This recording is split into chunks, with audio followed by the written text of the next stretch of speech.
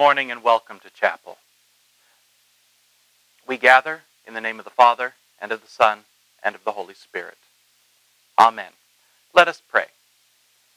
O Lord, Almighty and everlasting God, you have brought us in safety to this new day. Preserve us with your mighty power, that we may not fall into sin nor be overcome in adversity. And in all we do, direct us to the fulfilling of your purpose. Through Jesus Christ our Lord. Amen. Our scripture reading for today is from the Gospel of Matthew, chapter 18. Then Peter came to Jesus and asked, Lord, how many times shall I forgive my brother when he sins against me? Up to seven times? Jesus answered, I tell you, not seven times, but seventy times seven. Therefore, the kingdom of heaven is like a king who wanted to settle accounts with his servants. As he began the settlement, a man who owed him 10,000 talents was brought to him. Since he was not able to pay, the master ordered that he and his wife and children and all that he had be sold to repay the debt. The servant fell on his knees before him. Be patient with me, he begged, and I will pay back everything. The servant's master took pity on him, canceled the debt, and let him go. But when the servant went out, he found one of his fellow servants who owed him a hundred denarii. He grabbed him and began to choke him. Pay back what you owe me, he demanded. His fellow servant fell to his knees and begged. Be patient with me, and I will pay you back. But he refused. Instead, he went off and had the man thrown into prison until he could pay the debt.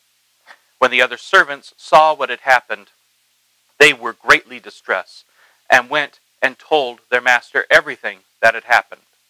When the master called the servant in, You wicked servant, he said, I canceled all that debt of yours because you begged me to. Shouldn't you have had mercy on your fellow servants just as I had on you? In his anger, the master turned him over to the jailers to be tortured until he should pay back all he owed. This is how my heavenly Father will treat each of you unless you forgive your brother from your heart. The Gospel of the Lord. Grace to you and peace from God our Father and our Lord and Savior, Jesus Christ. Amen. In our text for this morning, we hear of three different servants. Each of these different service, servants tells us something different about it, what it means to be a servant of God.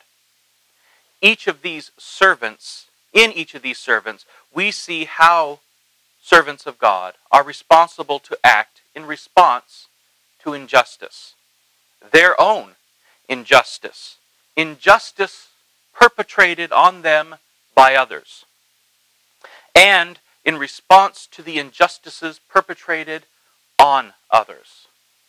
When should we forgive? When should we submit? And when should we act?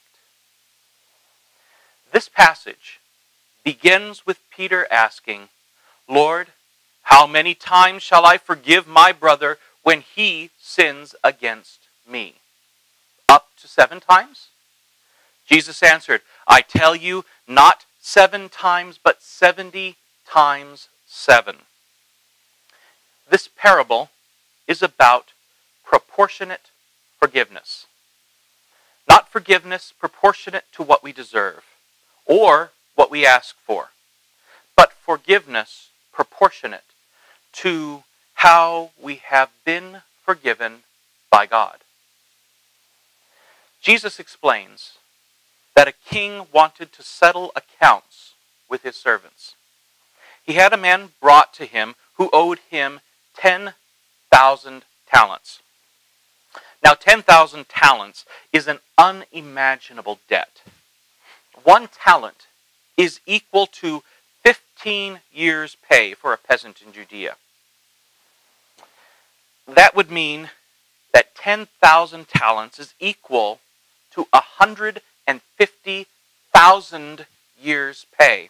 Or, in terms that we might understand today, if the federal minimum wage is 725, then 10,000 talents would be the equivalent of $2.26 billion. This is a debt impossible for a servant to pay. And since he was not una- since he was not able to pay, the servant fell on his knees before the king and begged, "Be patient with me, and I will pay back everything." This, of course, is a ridiculous request. He cannot pay. If he paid everything he had for the rest of his life, he still could not pay. If he started paying then and continued paying until today, he would still owe $2.23 billion. Now, in response to this ridiculous request, what does the king do? He takes pity on the servant, canceled the debt, and let him go. This servant's debt is like our debt before God, a debt so great it can never be repaid. And here is our first lesson. The servant of God has been forgiven an unending debt of sin. We, as servants of God, are called to forgive in proportion to how we have been forgiven. We have been forgiven an unending debt. There is no limit to our forgiveness of others who sin against us. This is the main message of this passage, and this is as far as most go. But there is more here for us. You see, when the first servant sees a second servant who owes him a hundred denarii, that's about six thousand dollars. He throws him into prison. Now, most people focus on the injustice of the first servant, which leads us back to the main theme of forgiving without limit. However, I'm interested in the second servant, the one who owes $6,000, the one imprisoned unjustly. Remember, he is a servant of the king as well as the first. Now, all servants of God have been forgiven an unending debt. This debt was paid at an unimaginable cost in pain and suffering. So, how should the servant of God respond when treated unjustly? Like the second servant. Does this servant object, or run, or even complain? No. He submits. The servant of God endures the injustice as Christ endured his suffering to pay our debt.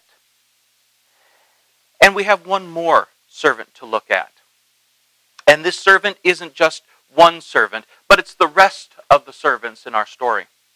You see, when the other servants of the king see the unjust treatment of the second servant, they don't stand by. They don't say, well, it's none of our business. They don't say, we'll pray for you. They act. They speak out against this injustice to the king. They don't leave it to one. They all act. And this is our third lesson.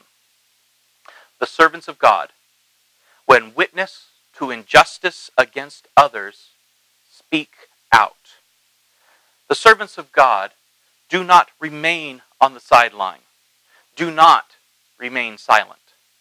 The servants of God act as one body, just as their master, our Lord, would have us act.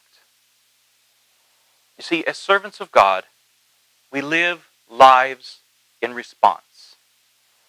We live in response to the unending debt we owed and for which we have been forgiven. God forgave us. We are called to forgive. We live in response to the unimaginable suffering our Lord endured to pay that debt. Our Lord suffered for us, and we are called to suffer in His service. And we live in response to the everlasting love and justice of God for us and for the rest of his creation. God loved us so much that he himself paid the debt for our injustice. And we are called to stand against the injustice perpetrated on others he loves. May the peace of God, which passes all understanding, guard your hearts and your minds in Christ Jesus. Amen. Lord, remember us in your kingdom and teach us to pray. Our Father, who art in heaven, hallowed be thy name. Thy kingdom come, thy will be done, on earth as it is in heaven. Give us this day our daily bread, and forgive us our trespasses, as we forgive those who trespass against us. And lead us not into temptation, but deliver us from evil. For thine is the kingdom, and the power, and the glory, forever and ever. Amen. Now may the Lord bless you and keep you. May the Lord make his face shine on you and be gracious to you. May the Lord look upon you with favor and give you peace. Amen. Go in peace, serve the Lord. Thanks be to God.